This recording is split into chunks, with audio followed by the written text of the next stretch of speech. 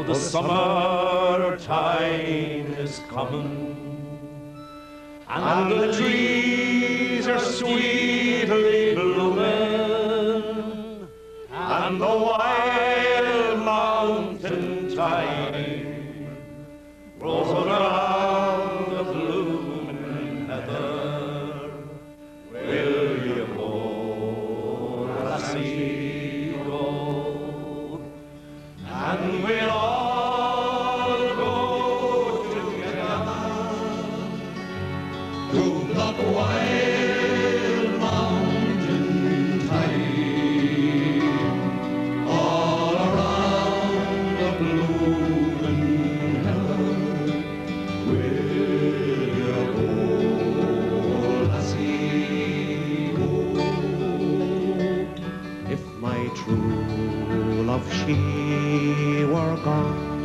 I remember Saturday mornings at home in William Street. Um, you know, when you wake up on a Saturday morning and realise there's no school today, and the boys used to, my brothers used to be uh, sleeping in what we called the garret, which was attic, I suppose you call it nowadays. And the next thing you'd hear the singing coming from the garret, and maybe a mouth organ, and you know, just I think the joy of realising it was Saturday morning. But that's the first memory I have of them actually singing. Bhí tuncur charig na siúra chunta hebredáran i grí lár na hebre a hosnig na Clancys na Caigadí. Bún léidir ta spánta se chuig go bhaimar a saoil, tú stáidir ar chudhád a choultúr na háta seo. Mes am hen go bhfuil bhfuil cultúr nef go tíantan se ar bhealach bailile bheag cos na siúire idir léomh na má agus na cumarig agus tá tá bailile héin site i neisce tibredána nó ach láh le le potláige agus le kilcuinnig ag an am chéana. agus meam gur raibh severas nefcotíanta dábrí sin steúil ag an áid seo. Meam héon gur bé an tréisisin chun eistólacht agus dráíocht. Ceantas an rudí beháchttaí a bhain leis na Clancys. Agus bin rud a chur siad isteach ins na seánna agus in san sort léirú a déach siad a chur ar bon nar bhí clú agus cáir fu an da ar an grúpa. Agus bhí sin leidir ar maiile se chugas bhí áchlann ar maiile se gáchéad blian áhain. Rud fearneh gotíonnta dé rá. We do. To the whole last night. So, and then Sa bblion méidir nócha sé chuig na Clancys agus chuidir lún ógan teilig ar chamchút dernach ar áitna agsúla ar fud na tíre. Ní raibh an hala i garig na siúra mór a ggóhan agus chuidir tús leis a geola glún meile, bailile atá ar bhrucht na siúra chomá. My father was an opera buff, and we learned all when he was babysitting for us, he would uh, tell us the stories of the operas and sing the parts during muses. And he'd sing soprano or bass, anything that came along. Arnets and gear we're fair.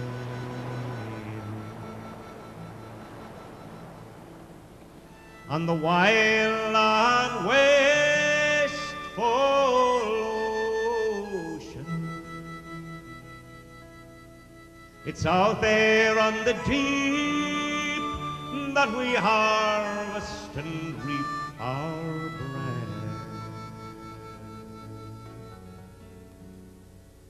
as we hunt the bunny shores of herring. People would just sing. It was the most natural thing in the world, even if you were walking around the house or sweeping the floor or whatever. My mother was always singing. Well, I suppose when I, I remember it as being always, but I'm sure it was probably when she'd be in good humour or feeling, you know, in a good mood and that. But my mother was a great one for the sing-songs. She really loved um, settling down and, and having a sing-song. Now, that wouldn't happen very often, but on occasions, and the least excuse would do her, you know, to have a a sing-song. I had an aunt, Mary Jo, and her house was a great house for courtiers, as they used to say, for the gathering and singing and fun and set dancing. And uh, that happened up there a lot, and I used to, I enjoyed it. And I learned a few folk songs there. And I learned little old local songs from my grandmother, and I thought that she was the only one in the world who knew them. But I, I met a Scotsman. I was in India one time. I met a Scotsman, and I was singing The Frog in the Well. And he started singing a Scots version. And I was amazed that he could know it, you know. Bíad Paddy agus Tom a bhog America ar dúis na chégadí. Bhog óige líam tamlin na dhésan. Bhí aithne ag líam Clancy ar Tommy Makem as ardhacha. Liam Clancy and I were in an, a play together called uh, Shadow and Substance, and the play had run for a number of months off Broadway and was going to close in a couple of weeks. And some men came to us one night, said they were opening a folk club, and would we go and sing for them? Uh, at that time, you got $45 a week off Broadway acting, that was your pay. That was the same as you got in unemployment. Uh, so we asked them how much they were paying, and they said, well, we'll give you $125 a week each. Now, we're young men, because we figured we'd sing a few songs at night, and uh, we'd have all day to look for proper work in the theatre. Uh, so Liam and I started to sing, and uh, Paddy and Tom, Tom was in a play on Broadway, I think, at the time. Uh, Paddy was running the office of Tradition Records, and and some not night they would drop by and then they'd get up and sing on stage. But I remember Liam and myself, uh, we didn't know anything about it. He could play guitar. A lot of the songs we sang were had been sung by other people, but very often in Irish tenor voices or or solo singers beside the fire. Like Brennan on the Moor was a famous old ballad, but it was it was sung. Uh, Brennan on the moor, ah, Brennan on. He was brave and undaunted, with young Brennan on the moor. But when we were rehearsing it, we were in this apartment in Greenwich Village, and I was sitting on this couch that had springs in it, you know. I said, let's try and get the sound of, like if we could belt it out like highwaymen, you know, and get the sound of a galloping horse. And because the couch was going like this, it just got down, jung, chugga, chugga, chugga, jung, chugga, chugga, chugga, jung, chugga, chugga, chugga, jung. And this Brennan on the moor, Brennan on the moor, bold, brave, and undaunted was young Brennan on the moor.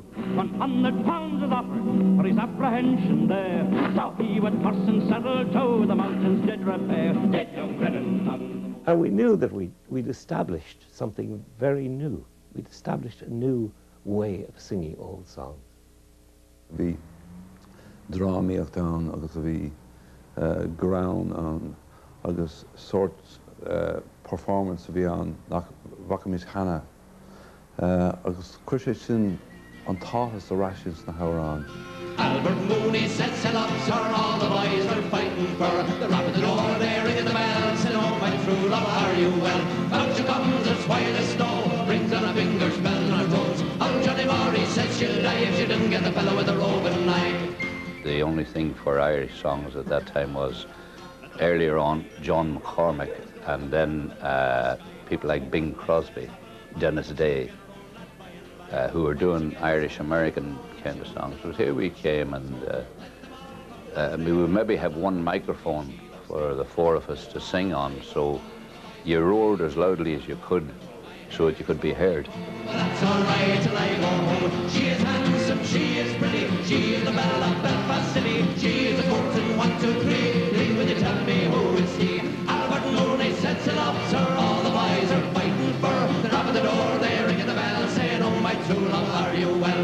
Out she comes, as white as snow. Rings on her fingers, bells on her toes. Out Johnny Murray says she'll die if she didn't get the fellow with the roving knife.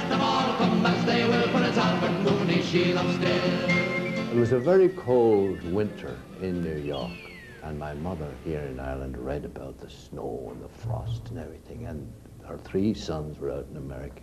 So she knitted three Aran sweaters and sent them out.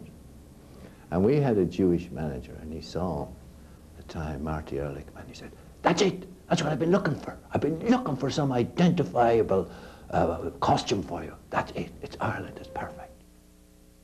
I was so impressed when I went to the first concert of the Clancy's at the kind of work they did and the kind of image they gave of Ireland. I was really amazed and delighted. And um, we started going out, and yes, romance blossomed then. It fills the air with odor rare, and betwixt both me and you. When home you stroll, you can take a fall of the bucket in the Mountain Dew. The only person I ever asked for an autograph was Harry Belafonte, and my husband was so amazed that uh, I would ask for his autograph because he knew him very well, you know, because they were in the same business, the folk song business. I never knew the word folk music. Not till I went to America and somebody told me I was a folk singer. I had to look up what that was to make sure I wasn't being insulted. Ní réig siad an dóchad sa fuór siad i garig na siúre agus i dibredáin agus sa tíir seo. Ní ní siad i ggéire teachtar na sean órán a le le agus sin. Bhéidir an cháú le chéile. Ach chuir siad an dúchas sin agus an éireach sin oscór na. This song is about some people who came and got a rather black welcome. Uh, I think all things considered, uh, some of them didn't do too badly.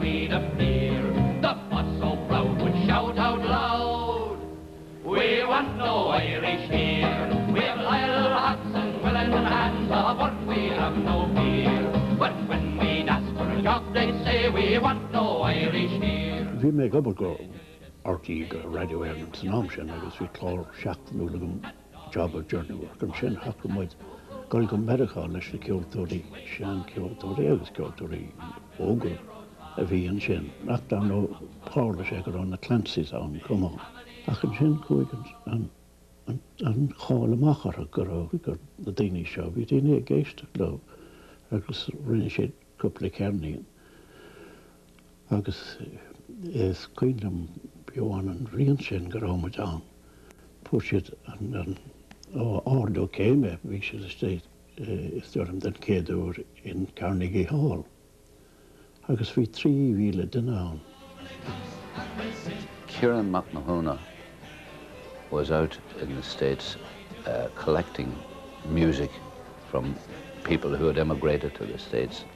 And uh, he was around and he'd be here and there collecting stuff. And every apartment he went into, he saw album covers of these four jokers in Aran sweaters. And he began to make inquiries about it. And uh, before he went home, he gathered whatever couple of two or three albums that we had out, took them back and started playing them on Radio Éireann.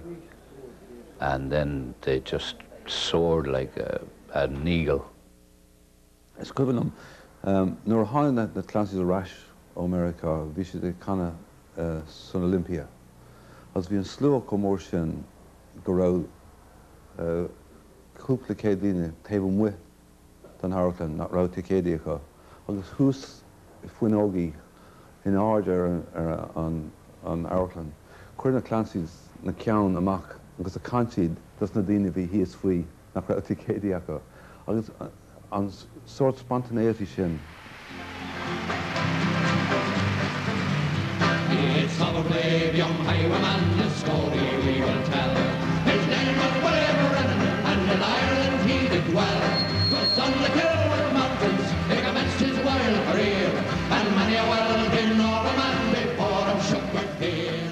Fear. Amigin galúas na seacadí bhí mis an Irish Independent Gobers an Irish Independent agus tanóna bháin bhí mé tí go bhhaile thugad ar marking gom, Gol trasan an lifa go dtíon White Horse, títáine an White Horse átain ar duigen dar a bennam go líam Clancy tuairt presagil nó igen mar sin dúdulum gur seis órání éarnach óna stáit éantathe agus go sé ag grúpa aigen. Ní ra fiúháin an tíirrma sin ballad grúp a gin ag an am.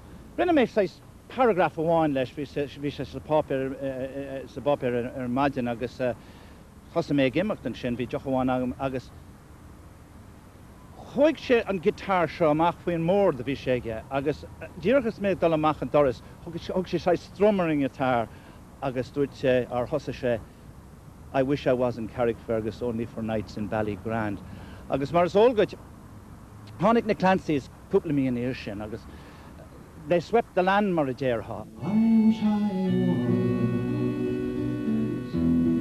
in Carrickfergus only for nights in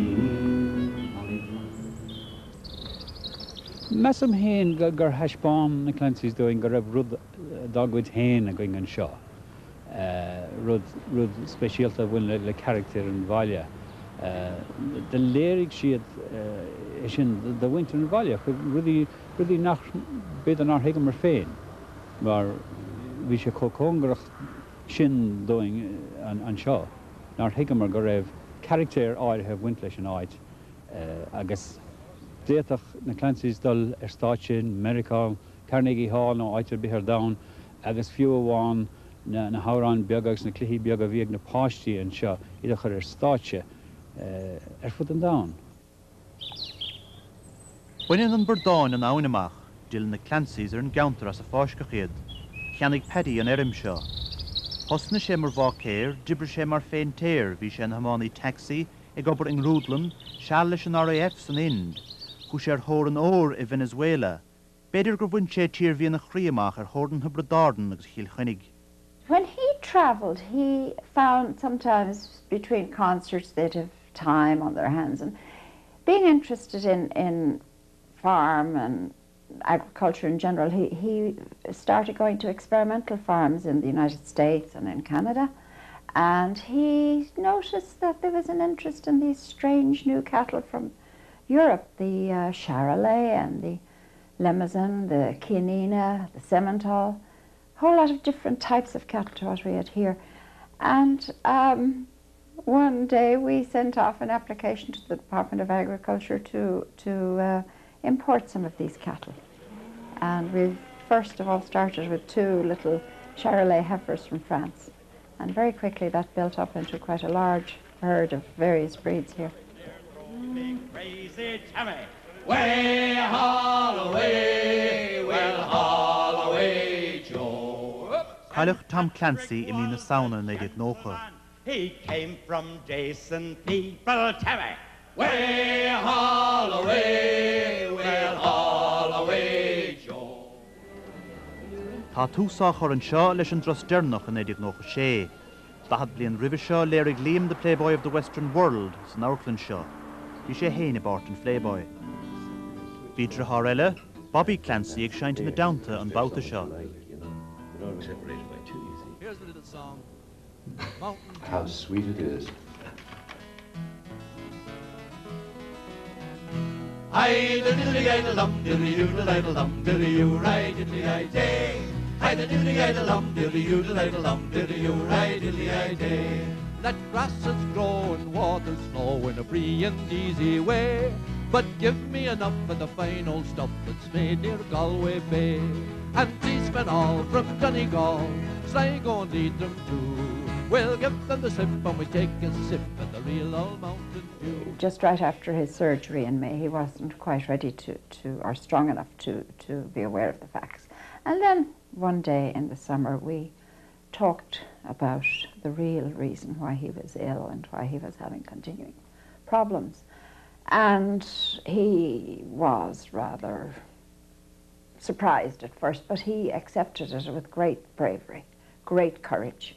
And from then on, we talked about the situation, and um, he was very dignified about it.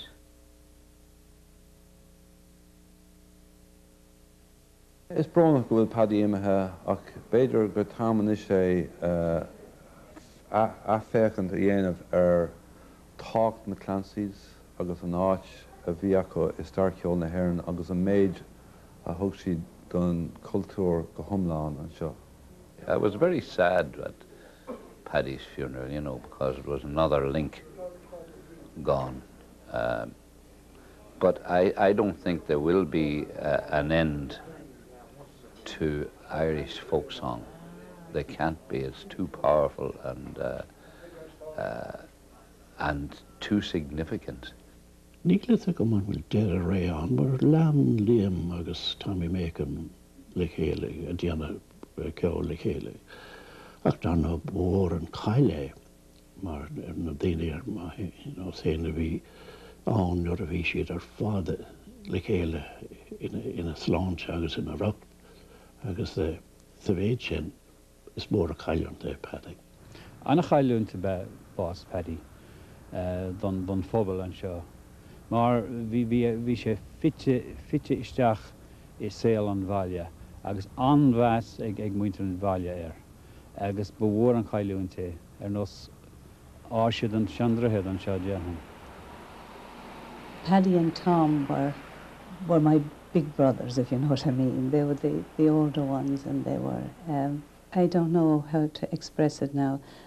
but I think Paddy and Tom, the, the, the, the chunk, the big chunk of the Clancy brothers is gone, you know. He'd come down here to ring when I think he realised that he was, he was very ill. And like every family, we'd had our disagreements over the years, but we had a fairly serious falling out over this. Uh, oh, um, we're doing cruises in the Caribbean, and just once you get involved in business you don't understand, uh, very often things get very rocky. And we had our problems and our battles and so on, but um, he came down to Ring, and we had to get together down in Moni's, and we had a couple of pints. We hugged each other. and said, What the hell were we fighting about? A few dollars or some misunderstanding. Nonsense. Let's have a song. So we had a great session that night. Sweating our cold, growing up, growing old, or dying. The next time we met was at my sister's funeral. He only, he, it only lasted five days after my sister. You know. And again, we had a couple of pints, and he, uh, he said, I've been thinking about those trees you put in down there. He said, they do an awful lot better now if you were to take some off the top, the eucalyptus trees. And he said, those, uh, those big uh, larch trees that I put up, he said, I'm going to top those now in the spring. He said that uh, they're getting a bit out of hand. I always assumed, and everybody assumes, they're going to be famous. It's like the fella, who was it? I was wrote recently, I was reading him, he died. He was a playwright. He wrote Time of Your Life. Anyway, he, he got cancer and he was dying. And he, his own epitaph was very nice. He said, I always knew that death was inevitable. But I always thought somehow it'd be an exception in my case. I think we all feel that somewhat. Oh, all the money that e'er I spend, I spend it in good company, and all the harm that e'er I've done, alas, it was to none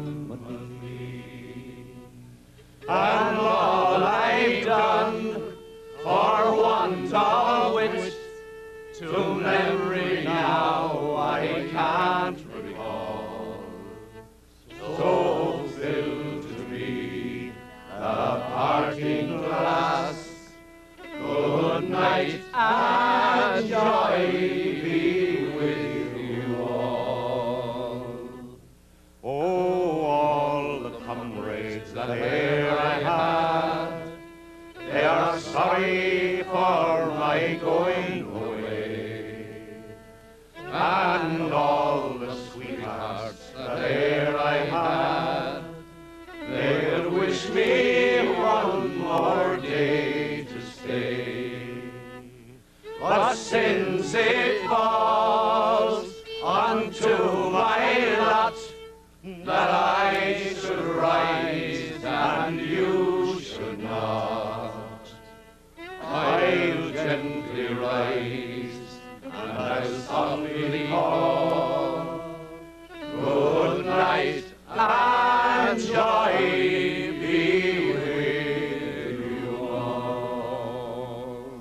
you no homes to go to?